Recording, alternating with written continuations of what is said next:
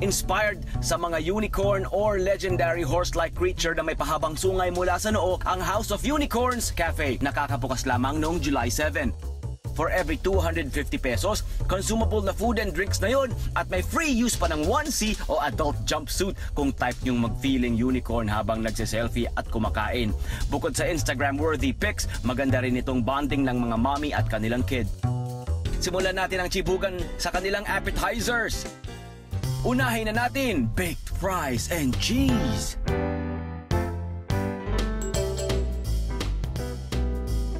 There's pesto in it. Tapos parang meat sauce. Pinagsama yung crunchiness ng fries and at the same time yung parang flavor ng pesto. So I love it. Medyo on the tangy side. I, I would think it's it's the tomatoes, but uh, I like it. It's good. It's dependable. Nakakatuwa siya. Dito, Tony Bet, parang masasabi ko na parang alam nila yung kliyente. Kaya yung profile nung ano, sauce, pambata, bagay dun sa ano, sa combination. So parang lahat nung gusto ng bata, binibigay nila. Pwede siyang isar ng isang barkada. Pwede siya talagang ma-enjoy. Kasi, syempre, pag kakain ka, I mean, not just for kids.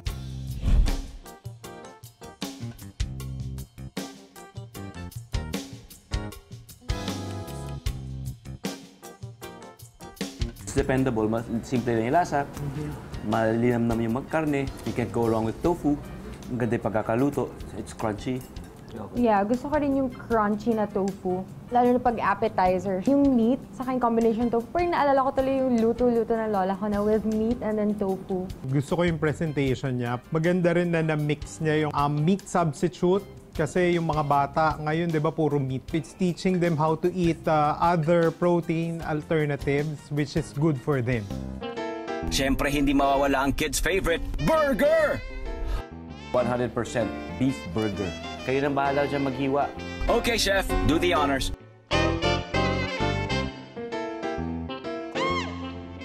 Ko talaga, ang thick talaga nung um, burger patty for its price. For me, it's sort of a steal. Kasi where would you find na ganun ka-thick, tapos ganun din yung price niya. Taste, it's simple naman. It's um, still good. I'm good with the patty. Okay yung patty niya. Tapos yung bread lang, parang hindi siya masyado ganun ka fresh. Gusto ko yung juiciness nga niya. I mean, sa price niya, yung patty niya mismo. Though yung, yeah, may konting issue sa bread, but it's, I think it's fine naman. Kasi nabawi naman dun sa patty mismo. Next on our list, para sa mahihilig sa pasta, ang carbonara.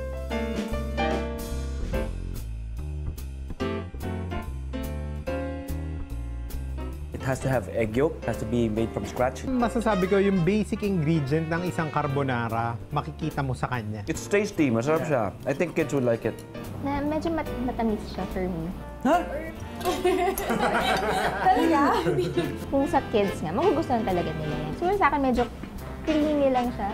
Dito sa team na to, ng resto na to, I think it's perfect for the kids nga. Kasi um, hindi naman sila masyadong mapili sa, ano eh, sa food eh, di ba? Pero yung sa akin lang, parang gusto ko salty. Grabe, iba-iba panlasa namin. It's all valid. Lahat ng sinabi yan, it's all valid. Kanya-kanyang panlasa yan eh. Subukan naman natin ang kanilang pesto. Eksakto kaya sa panlasa nyo? Kung pabibilian ako between this one and this one, I would go for the pesto. Yeah, me too. I love pesto. Simple niya. It packs so much flavor. Nagustuhan ko rin siya. Mas gusto ko siya over the carbonara.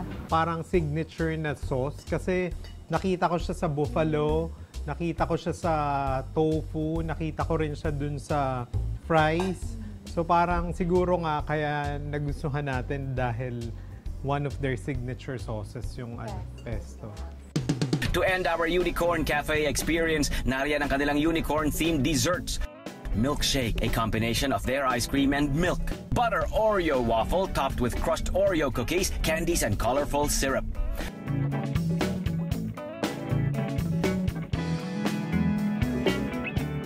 At apple compote.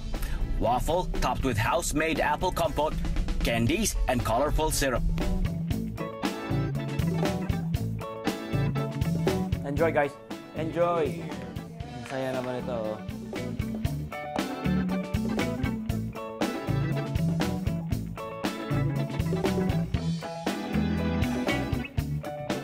Nagustuhan ko tong waffle dessert nila.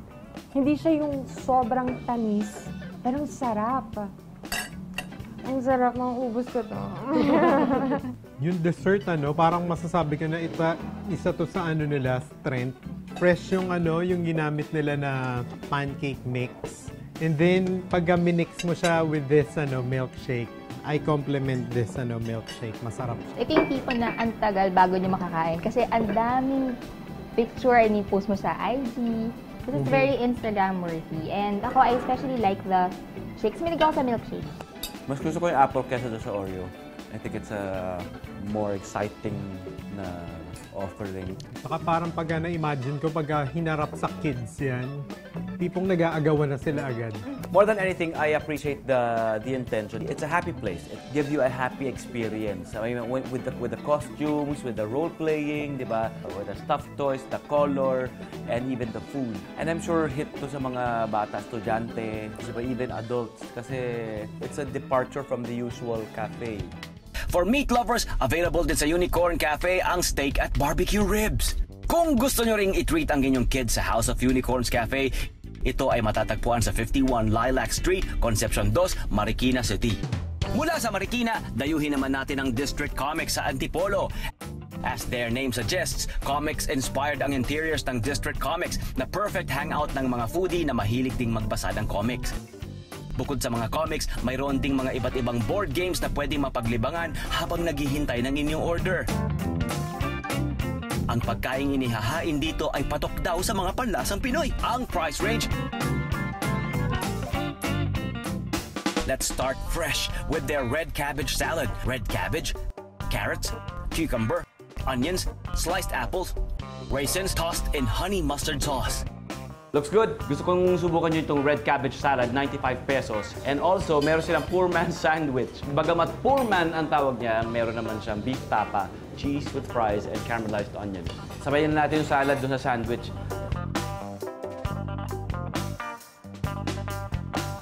Mura siya, pero yung ginamit niyang gulay, mahal siya. Tapos for that price, swak na swak siya. Tapos yung dressing nga, it's masarap na eterno dito sa ganitong klaseng salad. Something fresh. Maganda combination yung sandwich na to with this salad. Hindi ganun katapang yung dressing niya.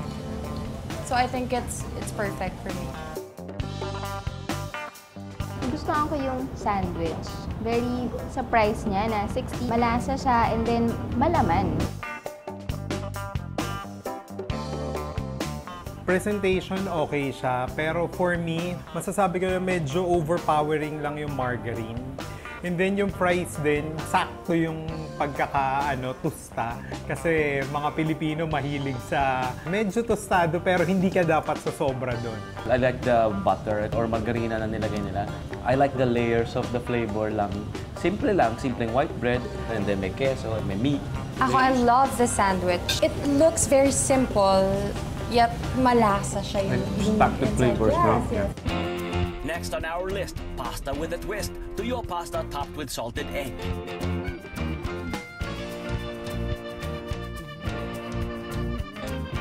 Ko yung portion. Marami siya, eh, malaking portion. Generous yung tuyo. Simpleng lasa lang ng tuyo. Itlog na maalat. Kasi normally nakita ko lang meron lang nung um, tuyo. Wala talaga nung itlog na maalat. Nag-a-add siya ng extra uh, parang oomph dun sa buong pasta. Ano ulit? Extra? Oomph. Saka itong tuyo and ano, itlog na maalat. Yan yung parang hinahanap ng lola ko eh, na Filipino touch sa pasta. So, parang gusto ko talaga mag-take out. Take out dito. Dito sa mga napakasimpleng pagkain, ito yung pinakamahirap gawin. Pero ito, nakuha nila yung simplicity ng balance ng alat, tapos ano yung flavor ng ah, itlog na maalat, it complements the the blank ah, flavor of the pasta. Maganda yung combination. Para naman sa main dish, hindi mawawala ang patok sa mga Pinoy na silog meals. Nariyan ang kanilang check silog, tap silog, pares silog, long silog. Look at that. They come in, ano eh, kawali. Ayun, oh, 95 pesos. So, kala nyo, di ba posible? Posibleng mura eh. So ano pang hinihintay nyo guys? Kanya-kanyang attack na! Natuwa ako doon sa manok nila. Ang laki eh. Yung manok nga masarap kasi makikita mo na hanggang loob, luto. Good. Sarap yung manok. I think ito yung isa sa mga orderin natin lagi, no, dito.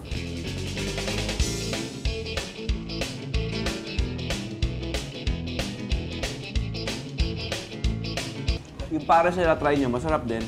It's a, a departure from the usual tapa, tapsilog nila. Although, for anyone who would like their tapsilog fix, meron silang tapsilog naman. Let's have some refreshing calamansi juice.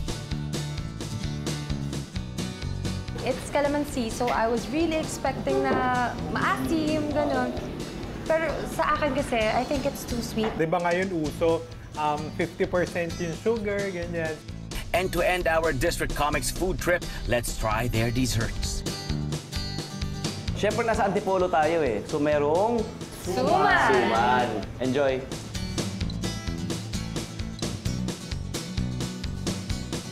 Saka may sugar siya, no? Na parang uh, glaze lang. Pero it works. Guys, may, may kasoy. Ayan, oh. Yung suman, masasabi ko, sinfully good. Dahil sa chicharon. Itong suman, hindi ko akalain na possible pala na i-mix yung suman at chicharon na i-cover mo pa siya ng glazed siya ng sugar and with cashew. So, sobrang bagay ng lasa niya. Masarap. Suman na may kasoy at chicharon. Pop na pop yan. Saka for 45 pesos sa ganyan kadami, okay yan. Please, please come up with really good desserts. That seals the experience. That makes it memorable. Parang yun yung period. Pagka hindi mo natuldukan yan, Kung gusto nyong matikman ang iba pang mga pagkain at dessert ng District Comics tulad ng jelly cake at vanilla cake at iba pang mga viands, bisitahin lamang sila sa E&H Building, ML Quezon Extension, Antipolo, Rizal. From Marikina to Antipolo, dayuhin na rin natin ang Brick Burger sa Pasig. Mula sa pinagsamang passion ng mag-asawang mahihilig magluto at mangolektang ng Lego, ang Brick Burger. Kaya naman maaaliw kayo sa dami ng Lego displays dito, pati na sa kanilang menu.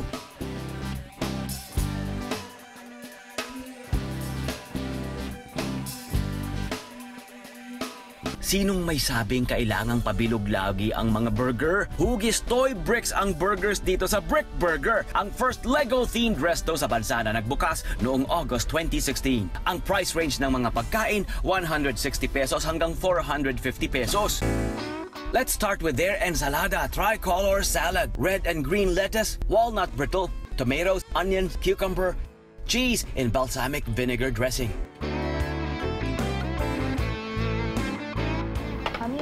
Brittle, it parang combination niya with the balsamic is really nice. Parang it's a good combination. And then it's, it tasted very fresh pa rin. Ay, hindi yung favorite na part ko. Yung merong asim, ano yung sweetness ng peanut brittle. Tapos yung may cheese, kasi sabi ko nga sa inyo, gusto ko talaga yung dairy products. Ako naman, yung pagka natuhog mo sila lahat, yung let- lettuce and then the brittle and then yung cheese. Perfect yung saltiness, sweetness, and sourness na explosion sa palate pagka kinain mo siya. Isunod na agad natin sa salad ang kanilang chicken cheese sticks. Okay, okay.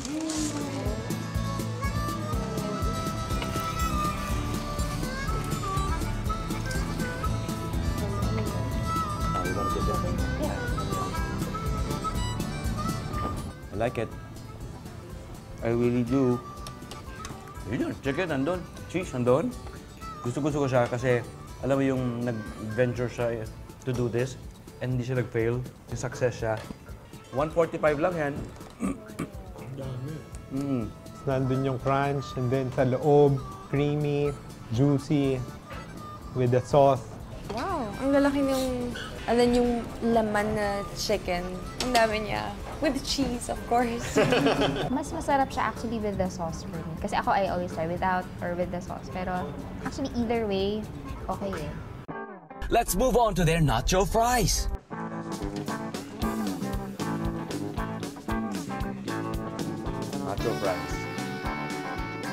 Sarap siya. Yung nachos pa lang, to start with, masarap na. Ulam naman siya. Yung first bite ko, may parang anghang siya. Ang sarap nung... Hindi ko alam kung saan ang galing. Baka dun sa jalapeno na... Wala sa ibabaw. Mahabi ko yung variety. Kung mahilig ka sa fries, focus on the fries. Kung mahilig ka sa nachos, go for the nachos.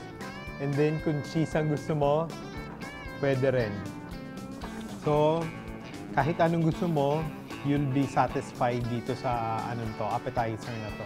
Ito ang kanilang Fantastic Four. It's a mix of original buffalo, honey barbecue, at meron siyang garlic and parmesan.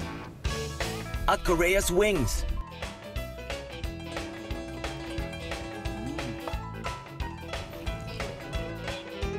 Sulit sa akin ang wings na ito. Abot ang sarap hanggang buto. Anong flavors ang gusto nyo? Sana tikman nyo. Yung buffalo. Ang original. Kasi pag kumakain ako ng spicy or something hot, mas na-amplify yung appetite ko. So yun yung favorite ko talaga when it comes to eating something spicy or hot. Ako yung barbecue rin. So, nagustuhan ko rin siya. Tapos, uh, if you combine it with this uh, parang garlic uh, sauce, okay din siya. Lalo siyang ano, elevated yung lasa. Huwag na nating patagalin pa. Narito na ang bida. Brick Burger Signature Dish. Darth Burger. Caramelized onions. Bacon. Mushrooms. Garlic and barbecue sauce. At Wild Style, spicy burger patty, crispy onion rings drizzled with garlic and barbecue sauce. Kung gusto niyo ng regular bun, meron naman. Pero kung ako sa inyo, i-recommend ko na itong brick bun nila, di ba?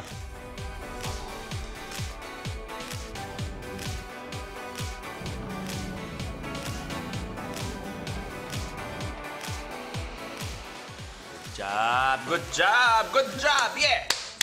Walang tissue-tissue. Pwede na rin ito. Hindi ba, Corinne? The burger's good, the barbecue sauce is good. Even yung brick bun is an event. Kasi it's soft and fluffy and, and, and almost, you know, kind of sweet. Pagka kinagat mo siya, may kakaibang crunch din na nadadagdag dun sa burger. So dito, ano, yung pagkaka-grill naman, lasang-lasa. Itong um, wild style, mas maanghang siya dito sa Darth Bur- Burger. Pero pareho eh. Equal, equally, I don't know, perfect for me. Naman, both burgers are great. Subukan naman natin ang kanilang patty sa kanin, ang Salisbury steak.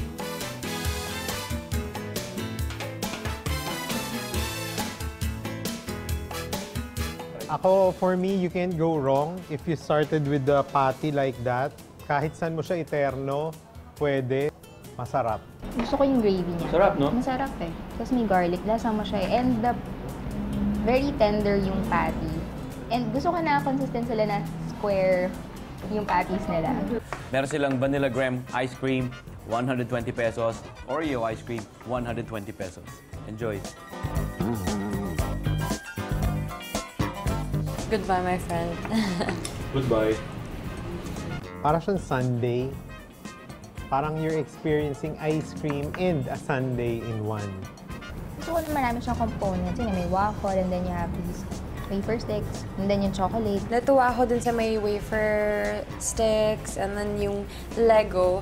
Nakain ko na siya. Kain mo yung Lego? Yeah, nakain Ito ko na. pa, oh. Kahit, kahit ang sarap. yung Lego na chocolate. Lego themed na chocolate. So yun, ang sarap-sarap niya.